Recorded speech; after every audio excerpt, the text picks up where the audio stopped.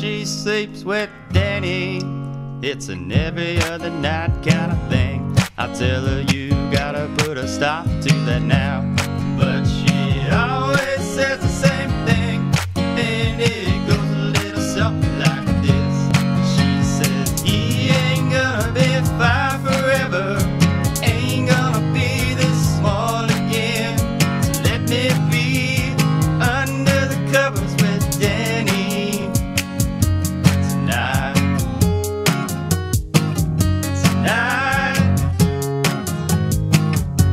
Tomorrow night and the next night.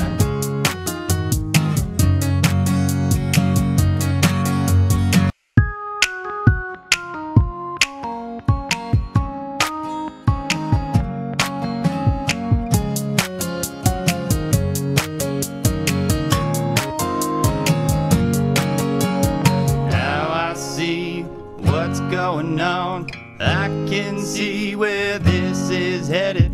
Jaden will be out